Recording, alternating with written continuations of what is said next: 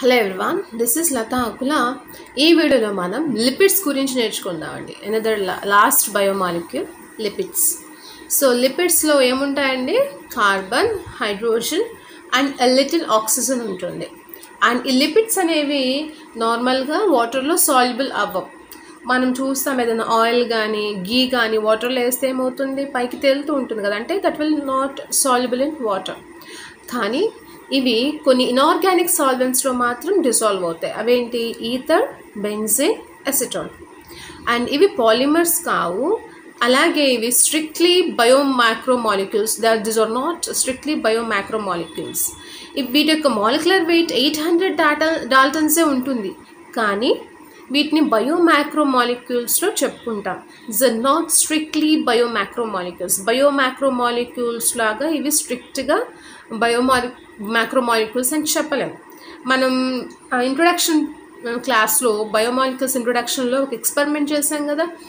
So దానిలో మనకి filtration చేసిన తర్వాత ఫిల్టరేట్లో కొన్ని బయోమాలిక్యూల్స్ వచ్చాయి రెటినేట్లో కొన్ని వచ్చాయని చెప్పుకున్నాం.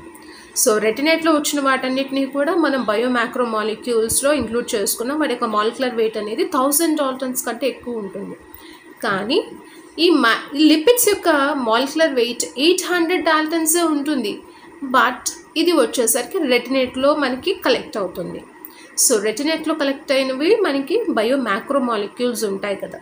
సో ఇక్కడ చూస్తే లిపిడ్స్ అనేవి మనకి వెసికల్స్ ఫామ్ చేస్తాయి కదా మనకి గ్రైండ్ చేసినప్పుడు ఏదైనా సెల్ మెంబ్రెయిన్స్ కానీ సెల్ ఆర్గనల్స్ కానీ గ్రైండ్ చేసినప్పుడు అవి వెసికల్స్ ఫామ్ చేసి అవి వాటర్లో డిజాల్వ్ అవ్వకుండా రెటినేట్లో కలెక్ట్ అవుతాయి. సో కాబట్టి వీటిని బయో మ్యాక్రో మాలిక్యూల్స్ అంటున్నాం. But this are not strictly biomacromolecules as we studied according to the molecular weight molecular వెయిట్తో compare చేసి చూస్తే మాత్రం వీటిని మనం బయో మ్యాక్రో మాలిక్యూల్స్ అని చెప్పలేం. అండ్ ఇక్కడ ఈ లిపిడ్స్ అనేవి వీటిని ఏమంటాం? Esters of fatty acids and alcohol అంటాం. So the esters of fatty acids and alcohol and lipid formation ఏమంటాము? లిపోజెనిసిస్ అంటాం. జెనిసిస్ అంటే ఇక్కడ సింథసిస్ అని అర్థం. Synthesis means production and lysis lipolysis అంటాం. లిపోలైసిస్ అంటే break down of lipids lipids break అయ్యే ప్రాసెస్ని ఏమంటాము? లిపోలైసిస్ లైసిస్ అంటే ఇక్కడ ఏంటి meaning break down one gram lipid కనుక మన ఫుడ్లో తీసుకుంటే అది మనకి నైన్ కిలో క్యాలరీస్ ఆఫ్ ఎనర్జీని ప్రొడ్యూస్ చేస్తుంది. ఫర్ ఎగ్జాంపుల్ మనం ఒక thirty grams of fat lipid తీసుకున్నాం అనుకోండి మనకి ఎంత ఎనర్జీ వస్తుంది? ఆ థర్టీని నైన్తో మల్టిప్లై చేస్తే మనకి two seventy kilo calories of energy. ఎంత ఎనర్జీ వస్తుంది? Two seventy kilo calories of ఎనర్జీని ఇస్తుంది. Two seventy kilo calories of energy అనేది ప్రొడ్యూస్ అవుతుంది. మనకి క్లాసిఫికేషన్ ఆఫ్ లిపిడ్స్ లిపిడ్స్ మళ్ళీ క్లాసిఫై చేస్తున్నాం. ఎన్ని టైప్స్ ఉన్నాయి మనకి లిపిడ్స్లో? లిపిడ్స్ అనేవి త్రీ టైప్స్ ఉంటాయి. అవి ఏంటంటే simple lipids compound or conjugated lipids and third one వచ్చేసరికి డిరైవ్డ్ లిపిడ్స్ అంటాం. సింపుల్ లిపిడ్స్ వచ్చేసరికి అగైన్ టూ సబ్ క్లాసెస్ ఉన్నాయి వీటిలో. అవి ఏంటంటే neutral fats true fats. And second one వచ్చేసరికి waxes and second one compound or conjugated లిపిడ్స్లో మళ్ళీ four types ఉన్నాయి phospholipids glycolipids lipoproteins and chromolipids and derived lipids చూస్తే దీనిలో మనకి స్టెరోల్స్ టర్పిన్స్ ప్రాస్టోగ్లాండిన్స్ వంటివన్నీ కూడా దీనిలో ఇంక్లూడ్ అయి ఉంటాయి. సో దీనిలో ఫస్ట్ వన్ ఏం నేర్చుకుందాం ఇప్పుడు మనం? సింపుల్ లిపిడ్స్ సింపుల్ లిపిడ్స్లో మనకి ఫస్ట్ వన్ ఏంటి? Neutral or true fats and what are simple lipids simple lipids అంటే ఏంటి? Simple lipids are nothing but esters of fatty acids with various alcohols simple lipids అంటే ఏముంటే దానిలో? This are the esters of fatty acids with alcohols esters of fatty acids with alcohol ఉంటే వాటిని simple lipids అంటాం. So దీనిలో first one వచ్చేసరికి neutral or true fats neutral or true fats వచ్చేసరికి దీనిలో వీటిని ఏమంటాం? Esters of fatty acids with what type of alcohol? Glycerol ఉంటుంది. ఇక్కడ దీనిలో ఏముంటుంది? Esters of fatty acids with glycerol ఉంటే వాటిని న్యూట్రల్ ఆర్ ట్రూ ఫ్యాట్స్ అంటాం. ఫ్యాటీ యాసిడ్స్కి గ్లిజరాల్ కనుక ఎస్టర్ ఫామ్ చేస్తే దాన్ని న్యూట్రల్ ఆర్ ట్రూ ఫ్యాట్స్ అంటాం. ఈ ఈ న్యూట్రల్ ఆర్ ట్రూ ఫ్యాట్స్కి ఇంకొక నేమ్ వచ్చేసరికి గ్లిజరైట్స్ అని కూడా అంటాం. What is another name for this neutral or true fats glycerides and ఇక్కడ మనం ఒక ఫ్యాట్ మాలిక్యూల్ చూసుకుంటే దానిలో ఏముంటుంది? వన్ మాలిక్యూల్ ఆఫ్ గ్లిజరాల్ ఉంటుంది. అలాగే దాంతోపాటు one to three molecules of fat fatty acids అది same type of fatty acid అవ్వచ్చు లేదంటే different types of fatty acids అయిన అవ్వచ్చు. సో వన్ మాలిక్యూల్ ఆఫ్ గ్లిజరాల్కి ఏముంటాయి? One or two or three molecules of same or different kind of fatty acids అనేవి ఒక fat మాలిక్యూల్లో ఉంటాయి. సో మనకి ఫ్యాట్ మాలిక్యూల్ ఏముంటాయని చెప్పుకున్నాం? Glycerol and fatty acids so glycerol structure చూస్తే గ్లిజరాల్లో ఏముంటుందండి? ఇట్ హ్యాస్ త్రీ కార్బన్స్ ఎన్ని కార్బన్స్ ఉంటాయి దీనిలో? త్రీ కార్బన్స్ ఉంటాయి. దానిలో ప్రతి కార్బన్కి కూడా ఒక హై హైడ్రాక్సిల్ గ్రూప్ ఉంటుంది. See here so how many carbons are present one two three three carbons are present వాటికి ఏమున్నాయి? త్రీ హైడ్రాక్సల్ గ్రూప్స్ అనేవి అటాచ్ అయి ఉంటుంది this is the structure of glycerol and next one ఏంటి? మనకి న్యూట్రల్ ఫ్యాట్స్లో glycerol అనేది ఫ్యాటీ యాసిడ్స్తో ఎస్టర్ బాండ్ ఫామ్ చేస్తుంది కదా. సో ఫ్యాటీ యాసిడ్ ఈ ఫ్యాటీ యాసిడ్ అనేది ఏంటి? It is unbranched chain of carbon atoms ఇది ఒక carbon atoms unbranched chain of carbon atoms అంటే దీనిలో హైడ్రాక్సల్ గ్రూప్ ఉంటుంది. సారీ కార్బాక్సిల్ గ్రూప్ ఉంటుంది. ఆ కార్బాక్సిల్ గ్రూప్కి ఆర్ గ్రూప్ అనేది అటాచ్ అయి ఉంటుంది. కార్బాక్సిల్ గ్రూప్కి ఏం అటాచ్ అయి ఉంటుంది? ఒక R group or functional group అనేది అటాచ్ అయి ఉంటుంది. సో ఈ ఆర్ గ్రూప్ అనేది ఏముండొచ్చు? ఒక మిథైల్ గ్రూప్ అయి ఉండొచ్చు. ఇథైల్ గ్రూప్ అయి ఉండొచ్చు. లేదంటే మనకి సిహెచ్ టూ గ్రూప్స్ ఉంటాయి కదా అవైనా ఉండొచ్చు. ఇక దీనిలో కార్బన్స్ వచ్చేసరికి వన్ కార్బన్ నుంచి నైన్టీన్ కార్బన్స్ వరకు ఉంటాయి. ఈ ఫ్యాటీ యాసిడ్స్లో కార్బన్స్ ఎన్ని ఉంటాయి? One to nineteen carbon atoms ఉంటాయి. సో వీటికి ఎగ్జాంపుల్స్ ఫ్యాటీ యాసిడ్స్కి ఎగ్జాంపుల్స్ ఏం చెప్పుకోవచ్చు? పామిటిక్ యాసిడ్ దీనిలో వచ్చేసరికి సిక్స్టీన్ కార్బన్స్ ఉంటాయి. పామిటిక్ యాసిడ్లో ఎన్ని కార్బన్స్ ఉంటాయండి? సిక్స్టీన్ ఇక్కడ మనకి సిక్స్టీన్ కార్బన్స్ అని కౌంట్ చెప్తున్నప్పుడు మనం ఏం చెప్పాలి? ఇంక్లూడింగ్ కార్బాక్సిల్ గ్రూప్ దానిలో కార్బాక్సిల్ గ్రూప్ ఉంటుందని చెప్పుకున్నాం కదా? దానిలో ఉండే కార్బన్ కూడా ఇంక్లూడ్ చేసి మనకి కౌంట్ చేస్తే ఎన్ని ఉంటాయి కార్బన్స్ సిక్స్టీన్ ఒకవేళ మనకి నీట్ ఎగ్జామ్లో excluding carboxyl group how many carbon atoms are present in palmitic acid అంటే ఏం చెప్పాలి? ఎక్స్క్లూడింగ్ అంటే తీసివేస్తే కార్బాక్సిల్ గ్రూప్ మనం ఇంక్లూడ్ చేయకుండా కౌంట్ చేస్తే మనకి ఫిఫ్టీనే ఉంటాయి. దాన్ని ఇంక్లూడ్ చేస్తే సిక్స్టీన్ కార్బన్స్ ఉంటాయి.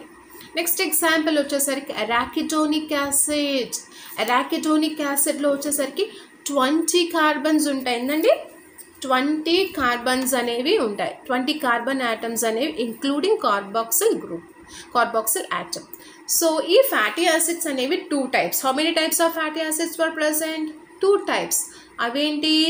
Saturated fatty acids and unsaturated fatty acids saturated and unsaturated fatty acid saturated fatty acids అంటే ఏంటంటే దీనిలో సింగిల్ బాండ్ ఉంటుంది. ఇక్కడ చూడండి మనకి సింగిల్ బాండ్స్ ఉన్నాయి. సో సింగిల్ బాండ్స్ ఉంటే వాటిని సాచురేటెడ్ ఫ్యాటీ యాసిడ్స్ అంటాం. డబుల్ బాండ్స్ ఉన్నాయంటే వాటిని అన్సాచురేటెడ్. టూ టైప్స్ అనుకున్నాం కదా అవేంటి ఒకటేమో సాచురేటెడ్ ఫ్యాటీ యాసిడ్స్ ఇంకోటేమో unsaturated fatty acids. Saturated fatty యాసిడ్స్లో మనకేముంటాయి? ఫ్యాటీ యాసిడ్స్లో ఓన్లీ సింగిల్ బాండ్ ఉంటే దాన్ని సాచురేటెడ్ ఫ్యాటీ యాసిడ్ అంటాం. వీటికి ఎగ్జాంపుల్స్ ఏంటి? Palmitic acid and stearic acid. Palmitic acid stearic acid అరాకిడో arachidic acid not అరాక్ ఇక్కడ మనం అరాకిడోనిక్ యాసిడ్ చెప్పుకున్నాం అది ఇందులో ఇంక్లూడ్ అవ్వం గుర్తుపెట్టుకోవాలి. ఇది అరాకిడిక్ యాసిడ్. సో ఈ పామెటిక్ యాసిడ్ వచ్చేసరికి సిక్స్టీన్ కార్బన్స్ ఉంటాయండి. ఎన్ని కార్బన్స్ సిక్స్టీన్ ఇక్కడ మనం నేర్చుకున్నాం కదా పామిటిక్ యాసిడ్లో ఎన్ని కార్బన్స్ ఉంటాయి? సిక్స్టీన్ అని. సో సిక్స్టీన్ కార్బన్స్ ఉంటాయి. ఇక్కడ చూడండి ఇది ఫార్ములా పామిటిక్ యాసిడ్కి ఇక్కడ ఫోర్టీన్ కార్బన్స్ ఉన్నాయా? నెక్స్ట్ ఇక్కడ ఒక కార్బన్ ఫిఫ్టీన్ అండ్ కార్బాక్సిల్ గ్రూప్లో ఉన్నటువంటి ఒక కార్బన్ మొత్తం ఎన్ని? సిక్స్టీన్ కార్బాక్సిల్ గ్రూప్ని ఇంక్లూడ్ చేస్తే సిక్స్టీన్ ఒకవేళ కార్బాక్సిల్ గ్రూప్ని కౌంట్ చేయకుండా ఓన్లీ ఇవి గ్రూప్ కనుక ఎక్స్క్లూడ్ చేస్తే ఎన్ని ఉంటాయి దీనిలో? ఫిఫ్టీన్ మాత్రమే ఉంటాయి. స్టీరిక్ యాసిడ్లో ఎయిటీన్ కార్బన్స్ ఉన్నాయి. సిక్స్టీన్ సెవెంటీన్ ఎయిటీన్ రైట్ ఈ కార్బాక్సిల్ గ్రూప్ని ఎక్స్క్లూడ్ చేస్తే ఎందులో ఎన్ని ఉంటాయని చెప్పాలి? Only seventeen and arachidic acid దీనిలో ట్వంటీ కార్బన్స్ అనేవి ఉంటాయి. సో నెక్స్ట్ వన్ వచ్చేసరికి అన్సాచురేటెడ్ ఫ్యాటీ యాసిడ్స్ అండి. సాచురేటెడ్ ఫ్యాటీ యాసిడ్స్లో సింగిల్ బాండ్స్ ఉన్నాయి. మరి అన్సాచురేటెడ్ ఫ్యాటీ యాసిడ్స్లో ఏముంటాయి? One or more double bonds ఉంటాయి. డబుల్ బాండ్స్ ఎన్ని ఉంటాయి? ఒకటి ఉండొచ్చు రెండు ఉండొచ్చు మూడు ఉండొచ్చు. Okay so depending upon the number of double bonds ఈ అన్సాచురేటెడ్ ఫ్యాటీ యాసిడ్స్ అనేవి టూ టైప్స్ ఎన్ని టైప్స్ ఉంటాయి? టూ టైప్స్ అవి monounsaturated fatty acids polyunsaturated fatty acids monounsaturated fatty యాసిడ్స్ని షార్ట్కట్లో మూఫా అంటారు. వీటిలో మనకి సింగిల్ డబుల్ బాండ్ ఒక్కటే ఉంటుంది. డబుల్ బాండ్ అనేది ఎన్ని ఉంటుంది చూడండి ఇక్కడ? ఒక్కటే ఉంది కదా? So only one double bond ఉంటుంది మోనో అంటే సింగిల్ కదా? సో దీనిలో సింగిల్ డబుల్ బాండ్ ఉంటుంది. దీనికి ఎగ్జాంపుల్ మనం గుర్తుపెట్టుకోవాలి oleic acid what is the example for MUFA oleic acid how many double bonds are present single double bond was present and second one వచ్చేసరికి polyunsaturated fatty acids polyunsaturated fatty యాసిడ్స్ని షార్ట్కట్లో PUFA అంటారు. PUFA okay ఇక్కడ మనకి poly అంటే ఏంటి? Many ఇక్కడ మనకి double bonds అనేవి మోర్ దాన్ వన్ ఉంటాయి. మే పాలీ అంటే ఏంటి? మెనీ కదా. ఇక్కడ సింగిల్ ఉంది కాబట్టి మోనో అన్నాం. ఇక్కడ మెనీ డబుల్ బాండ్స్ ఉన్నాయి కాబట్టి పాలీ అన్సాచురేటెడ్ ఫ్యాటీ యాసిడ్స్ అంట.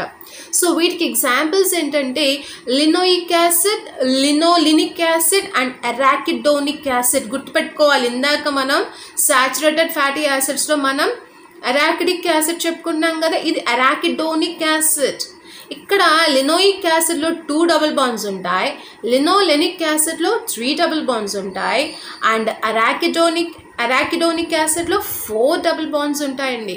ఇది మనకి లినోయిక్ యాసిడ్కి ఒక కెమికల్ స్ట్రక్చర్. ఎన్ని ఉన్నాయి చూడండి ఇక్కడ మనకి డబుల్ బాండ్స్ వన్ టూ టూనే కదా చెప్పుకున్నాం టూ డబుల్ బాండ్స్ అనేవి ఉంటాయి. ఇవి polyunsaturated fatty acids when compare to the monounsaturated fatty acids చూస్తే ఇవి ఈజీలీ డైజెస్టబుల్ ఈజీగా మన ఫుడ్లో తీసుకున్నప్పుడు ఫాస్ట్గా డైజెస్ట్ అవుతాయి. ఇవి ఎందులో ఉంటుంది మనకి? సన్ఫ్లవర్ ఆయిల్ సాఫ్లవర్ ఆయిల్లో ఉంటుంది ఈ పాలీ అన్సాచురేటెడ్ ఫ్యాటీ యాసిడ్స్ అనేవి. అండ్ ఇది మనకి హార్ట్ పేషెంట్స్కి హెల్దీ ఫుడ్లో మనకి ఈ పాలీ అన్సాచురేటెడ్ ఫ్యాటీ యాసిడ్స్ని సజెస్ట్ చేస్తుంటారు డాక్టర్స్. అండ్ నెక్స్ట్ వన్ వచ్చేసరికి ఇప్పుడు ఫ్యాట్స్ గురించి చెప్పుకున్నాం కదా న్యూట్రల్ ఫ్యాట్స్లో ఈ neutral ఫ్యాట్స్లో depending upon number of fatty acids fatty acids అనేది ఒక గ్లిజరైడ్ ఉంటుందని చెప్పుకున్నాం ఒక గ్లిజరాల్ దానిలో వన్ ఉండొచ్చు టూ ఉండొచ్చు త్రీ ఉండొచ్చు. ఎన్నైనా ఫ్యాటీ యాసిడ్స్ ఉండొచ్చు అని చెప్పుకున్నాం కదా.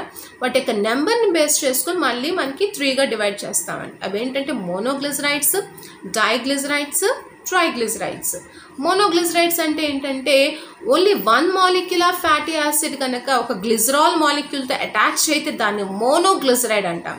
ఒకవేళ two molecules of fatty acids attach అయి ఉంటే దాన్ని glycerol one molecule of గ్లిజరాల్కి two molecules of fatty acids attach అయితే దాన్ని డైగ్లిజరైడ్ అంటాము.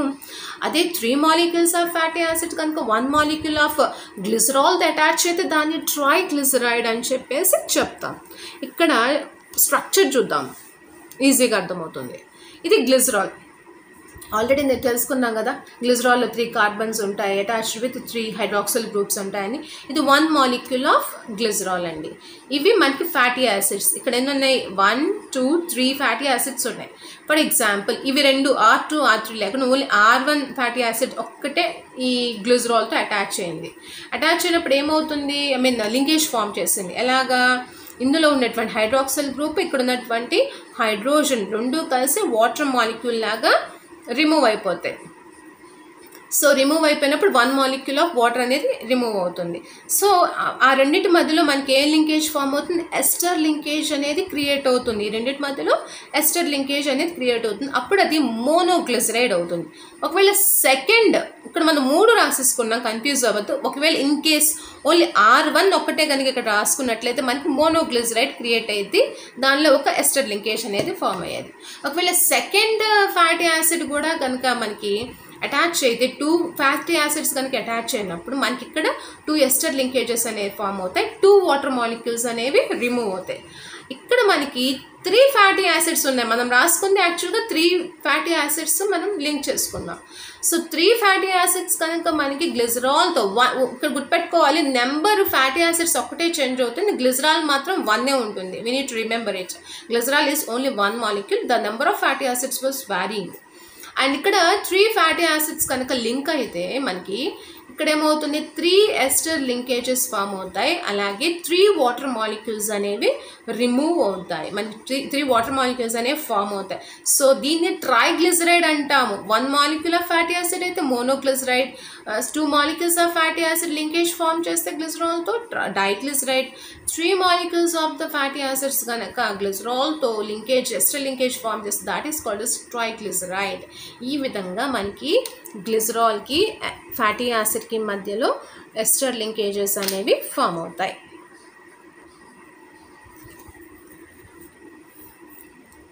సింపుల్ లిపిడ్స్లో సెకండ్ సబ్ క్లాస్ వచ్చేసరికి వ్యాక్సెస్ అని చెప్పుకున్నాం కదా. సో దీనిలో వ్యాక్సెస్ చూస్తే ఈ వ్యాక్సెస్లో మనకి వాటర్ ప్రూఫ్ ఇన్ నేచర్ అవి వాటర్ని అలౌట్ చేయవు లోపలికి. అండ్ ఇవి వచ్చేసరికి this are the esters of fatty acid with alcohol. దీనిలో గ్లిజరాల్ ఉండదండి గుర్తుపెట్టుకోవాలి. Other than instead of glycerol the fatty acid forms linkage with alcohol. That to high molecular weight ఆల్కహాల్తో ఇది లింకేజ్ని ఫామ్ చేస్తుంది. What type of alcohol it is? High molecular weight ఆల్కహాల్స్తో ఇది వ్యాక్సెస్లో మనకి ఏముంటాయి fatty acids with high molecular weight alcohol ఉంటుంది. Instead of glycerol glycerol ఉండదు ఇక్కడ. అండ్ వీటికి ఎగ్జాంపుల్స్ వచ్చేసరికి ఫస్ట్ వన్ వచ్చేసరికి బీ వ్యాక్స్ చెప్పుకుందాం. బీ వ్యాక్స్ అంటే ఏంటి? మనకి బీ హైవ్ హనీ బీస్ ఉంటాయి కదా తేనెటీగలు సో వాటి యొక్క హౌస్ నేమ్ అంటాం హనీ కూంబ్ అంటాం ఓకే సో అది దాని చుట్టూ ఉండేటువంటి వ్యాక్స్నే బీ వ్యాక్స్ అంటాం. అది కూడా వ్యాక్సే మనకి హనీ కోమ్ కూడా ఒక వ్యాక్సేనండి దాని కెమికల్ని దాన్ని ఏమంటామంటే హెక్సాకొసైల్ పామిటేట్ అంటాం. దాన్ని హెక్సాకొసైల్ పామిటేట్ అది ఎలా ఫామ్ చేస్తుంది? ఎవరు ఫామ్ చేస్తుంది?